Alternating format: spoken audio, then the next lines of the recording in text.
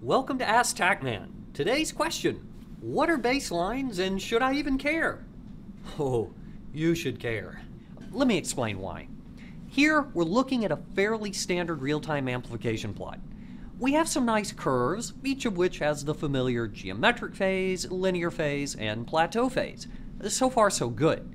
But what's all this junk in the early cycles? Well, friends, if you said junk, you were right. Oh, you heard me. Junk, trash, waste, detritus, garbage, otherwise known as noise. It's the stuff we see before our actual signal from amplification gets high enough to overcome that noise. And, as the rather impolite adjectives I used a second ago suggest, it's completely useless to us. So we can just ignore it, right? No. Here's the thing this noise does have an effect on our curves.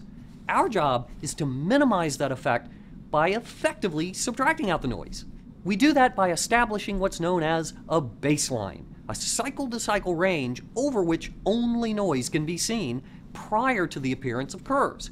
Once established, the software will effectively subtract out the noise on a well by well basis, greatly improving the quality of our data. Let's switch the y-axis to a linear scale for the moment to illustrate the effect of baseline subtraction. Here's our data prior to baselining. Note how every sample begins from a slightly different spot on the y-axis, causing our geometric phase data, this curvy part over here when we're in a linear scale, to look horrible. But once we subtract noise, every sample begins from the same point zero, and as a result, the data clean up nicely. The value we get after normalizing for background is something called delta Rn. If you ever look closely at a log scale amplification curve, the one we're used to seeing, you'll notice that delta Rn is what's graphed on the y-axis. Uh, by the way, the n in delta Rn, that has to do with ROX, which you can learn about in another Ask TaqMan video. Uh, check it out if you haven't already.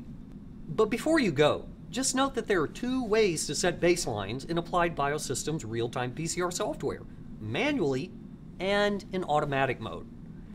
If you do it the manual way, you set the baseline range under analysis settings. You either set it for a single assay, in which case all wells for that assay get the same subtraction, or you can go under advanced settings and set wells individually. Better yet, just use the default setting of auto baselining. With this selected, the software figures out how much noise needs to be subtracted from each well individually, and as such, generally produces the best result. So why have a manual feature? Well, auto does fail on occasion, especially with some SYBR assays and non-standard chemistries. You'll know auto has malfunctioned by the shapes of your curves. If they look more S-shaped than they should, it could be that auto has misapplied the baseline and set the end cycle too low. As a result, not enough noise is being subtracted and the curves take on that strange shape. To fix the problem, switch over to manual mode for that assay and raise the end cycle until the curves take on a regular shape. I hope that clears things up. And by the way, we're making new videos based on your real-time PCR questions. Send in your tweets, post on TaqMan's Facebook timeline, or just visit us at www.lifetechnologies.com forward slash AskTaqMan. Thanks for watching.